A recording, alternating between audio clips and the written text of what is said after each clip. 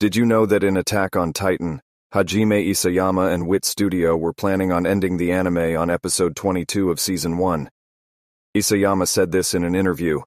At first, the Attack on Titan TV series was going to end here because there wasn't enough material to continue further.